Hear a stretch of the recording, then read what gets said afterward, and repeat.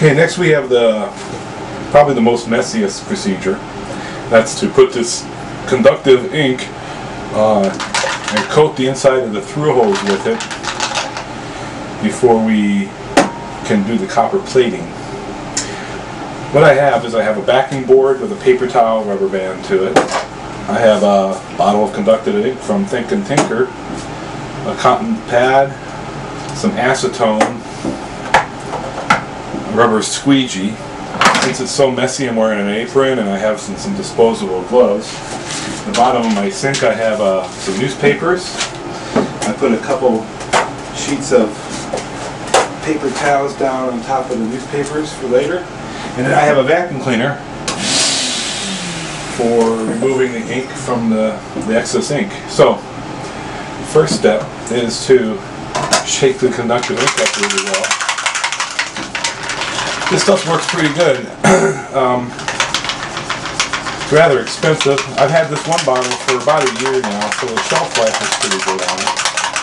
One of the problems with this whole process is the shelf life of things. So we shake this up really well. We take our clean and dry PC board and we take the top off the conductive ink.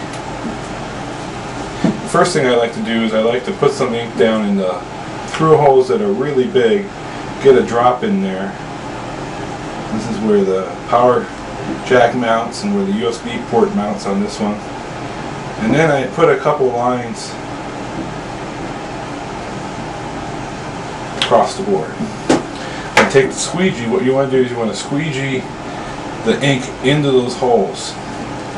So you get a good angle.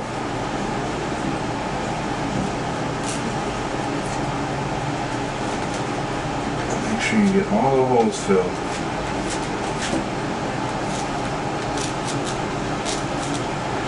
Just work it in there. And then, once you're sure they're all full, take the excess ink off and wipe it onto the paper towel. Now the other side's going to have some excess ink too. So we're going to take one wipe of that. And then we're going to take a paper towel. and wipe up some of the excess ink. Now, holes are all filled. Take the vacuum cleaner and suck it out.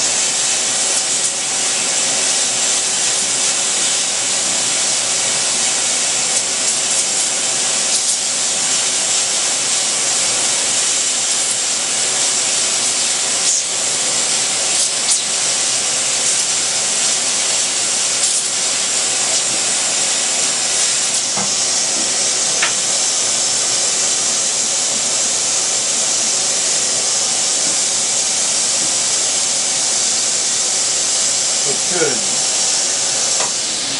You can see on the little tiny through holes, uh, the vias are clear. All the holes are clear. They all got a little black finish to them. So we take the cotton pad and some acetone. Just get the pad damp. You don't want a dripping pad. And then one quick wipe to clean up the excess. You can see it's already starting to dry.